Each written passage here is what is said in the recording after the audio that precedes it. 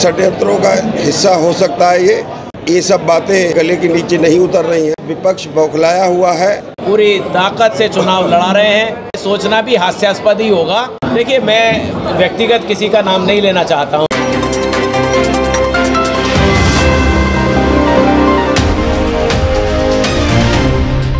बरेली मंडल में भाजपा ने लोकसभा टिकट बदले जाने के प्रयोग तो बदायूं पीलीभीत में भी किए हैं, मगर बरेली जैसे साइड इफ़ेक्ट कहीं और नज़र नहीं आ रहे। बरेली में चुपके चुपके पार्टी के अंदर से ही अपने उम्मीदवार छत्रपाल गंगवार के प्रति असहयोग की मुहिम चलाए जाने की खबरें सामने आ रही हैं। सोशल मीडिया पर खुलेआम सरेआम भाजपा प्रत्याशी के खिलाफ नेगेटिव प्रचार किया जा रहा है। भाजपा सूत्रों का कहना है कि लोकसभा प्रत्याशी छत्रपाल गंगवार के खिलाफ खराब बातें फैलाने वाले कुछ ऐसे मोहरे हैं जो खास चेहरों के खास माने जाते हैं। और ऐसे खास मौकों पर पहले भी कठपुतली वाला खेल खेलते रहे हैं। सोशल मीडिया पर फैलाई जा रही नेगेटिविटी का असर किसी तरह बरेली में भाजपा के चुनाव अभियान पर न पड़े। इसके लिए प्रत्याशी छत्रपाल गंगवार के साथ पूरा पार्टी संगठन व दूसरे जिम्मेदार चेहरे खुलकर सामने आ रहे हैं और मीडिया के सामने अपनी तरह से सच भी सामने ला रहे हैं। अफवाहों को लेकर विरोधी पार्टियों पर हमला भी बोल रहे हैं। पार्टी कैंप में इस बात की भी चर्चा हो रही है कि चुपके चुपके असहयोग आंदोलन को हवा देने वालों का रोज नामचा भी तैयार किया जा रहा है और यही रोज नामचा चुनाव बाद हिसाब किताब में काम आने वाला है। चुनावी ट्रैक रिकॉर्ड देखा जाए तो भाजपा ऐसी पार्टी नज़र आती है जो अपने पत्ते बहुत ठोक बजाकर चलती है और जल्दी अपने फैसले भी नहीं बदलती है। देश में भाजपा की ओर से घोषित उम्मीदवारों पर नज़र दौड़ाएँ तो अपवाद को छोड़कर टिकट के ऐलान के बाद टिकट बदले जाने की खबरें अभी तक पार्टी से इक्का दुक्का ही सामने आई हैं। यूपी की बात करें तो राज्य में मुख्य विपक्षी समाजवादी पार्टी पश्चिमी यूपी में ही कई टिकट तय करने के बाद भी बदल चुकी है। लेकिन भाजपा के साथ ऐसा दूर दूर तक नहीं देखा जा रहा। यह सब जानते हुए भी बरेली में भाजपा प्रत्याशी छत्रपाल गंगवार के टिकट सरेंडर करने और बरेली टिकट पर पार्टी में पुनर्विचार होने की अफवाहें सियासी हलकों में तेज़ी से फैलाई जा रही हैं। इस तरह की बातों को अफवाह इसलिए भी कहना ठीक होगा क्योंकि पार्टी संगठन के साथ खुद बरेली से भाजपा प्रत्याशी छत्रपाल गंगवार भी मीडिया से लगातार झूठ मूठ की बातों को दुष्प्रचार बताकर उनका खंडन कर रहे हैं। इसके बाद भी अफवाहें फैलाने वाले अपना काम तेज़ी से करने में जुटे हैं। मेयर चुनाव में टिकट का दावा ठोंकने वाली बरेली की एक महिला भाजपा नेता के सोशल मीडिया अकाउंट से भाजपा उम्मीदवार छत्रपाल गंगवार के बारे में जो कुछ लिखाया गया, उससे पूरा संगठन सख्ते में आ गया है। भाजपा सूत्रों का कहना है कि ऐसी एक महिला ने बरेली भाजपा महानगर अध्यक्ष पर युवा नेता अधीर सक्सेना की ताजपोशी के समय भी लखनऊ तक तूफ़ान उठाने की कोशिश की थी, मगर हुआ कुछ नहीं। मेयर चुनाव के समय भी ऐसी अंदर खान ने कुछ भाजपा नेताओं ने डॉक्टर उमेश गौतम के खिलाफ असहयोग की मुहिम चलाई थी, मगर डॉक्टर गौतम के रिकॉर्ड वोटों से जीतने पर असहयोगबाजों को मुँह की खानी पड़ी थी। असहयोग की वैसी गतिविधियाँ। अब लोकसभा चुनाव में भाजपा उम्मीदवार छत्रपाल गंगवार के खिलाफ भी चलाई जा रही हैं। तो फिर यह सवाल उठ रहा है कि इस बार चुपके चुपके खेले जा रहे विरोध के खेल में कौन मोहरा है और कौन मोहरों के पीछे का चेहरा?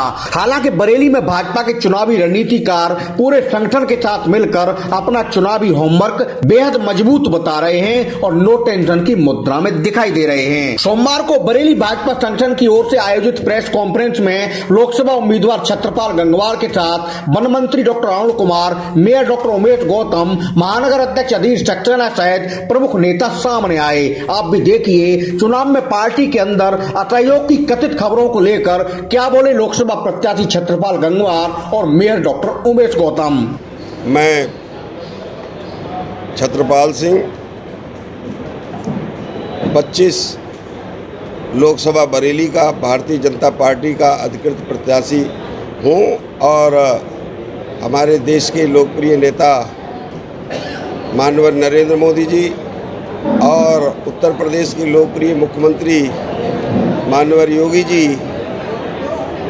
ने विकास की इतनी ज़बरदस्त योजनाएँ, देश का, प्रदेश का इतना ज़बरदस्त विकास, आम जनमानस के बीच में पहुँची योजना है उससे विपक्ष बौखलाया हुआ है। बरेली बहुत बड़े अंतर के साथ एक इतिहास रचेगी। ये सब बातें विपक्षी समाजवादी पार्टी के गले के नीचे नहीं उतर रही हैं और उन्होंने बदनाम करने की दृष्टि से बहुत तरीके के फंडे अपनाए हैं, षड्यंत्र रचे हैं। उस षड्यंत्रों का हिस्सा हो सकता है ये। बाकी मेरी इस प्रकार की कोई किसी से वार्ता नहीं हुई है और ना मैंने इस प्रकार की कोई बात कही है। मेरी कोई उनके साथ में इस ढंग की कोई मीटिंग नहीं। मैं अपना कल स्टेटमेंट दे चुका हूँ और मुझे उनकी क्या ज़िम्मेदारी है, मुझे वो भी नहीं जानकारी है। वो हमारे नेता हैं, संतोष गंगवार जी, उनके मार्गदर्शन में ही पार्टी चल रही है और उनके उनके मार्गदर्शन में ही पूरी बरेली ज़िले की और यहाँ का पूरा संगठन लगा हुआ है। बूथ स्तर से लेकर हमारे जितने जनप्रतिनिधि हैं, पार्टी संगठन का नेटवर्क है और हमारे मानवर मेयर साहब हैं, इस सारे लोग मैं संतोष जी के पार्टी के लिए गति दे रहे हैं और उनके मार्गदर्शन में चुनाव का प्रबंधन चल रहा है। ये सब बातें सब जो कुछ भी उड़ाई जा रही है, ये समाजवादी पार्टी का षड्यंत्र है। हमारी हमारी कल पार्टी की यहाँ मीटिंग हुई, मेयर साहब ने आयोजित की, सभी माननीय सभी माननीय सभासद यहाँ पर थे, उनके बीच में वो भी आए। अभी ज़िले की ज़िले की अभी यहाँ चुनाव संचालन समिति की मीटिंग थी, उसमें भी वो रहे। मैं यद्यपि थोड़ी देर के लिए रहा, मेरा मेरा कार्यक्रम था से मीरगंज विधानसभा में चला गया था। उनकी पूरी उपस्थिति और सब जगह उनका जाना आना हो रहा है, उनका मार्गदर्शन हमारे कार्यकर्ताओं को सबको मिल रहा है। देखिए, ये कांग्रेस और समाजवादी पार्टी की सोची समझी रणनीति है कि किस तरह से दुष्प्रचार फैलाया जाए।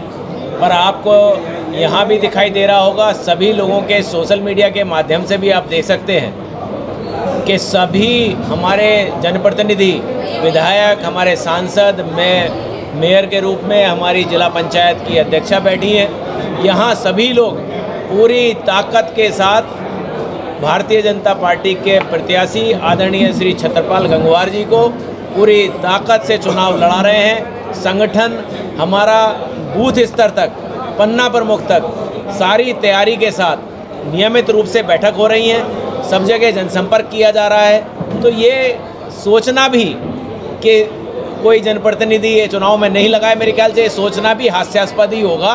पूरी ताकत से भारतीय जनता पार्टी लाखों वोटों से जीतने जा रही है। देखिए, मैं व्यक्तिगत किसी का नाम नहीं लेना चाहता हूँ, लेकिन कई बार हम जब लिख रहे होते हैं तो किससे प्रभावित हो जाते हैं, ये नहीं पता लग लग पाता है। तो किस भावनाओं में क्या लिखा गया, मुझे नहीं पता, क्योंकि हर तरह के लोग बातें कर रहे हैं, लेकिन पूरी भारतीय जनता पार्टी एक तरह से एकजुट है और पूरे ताकत से चुनाव लड़ाएगी। कहीं कोई संशय नहीं।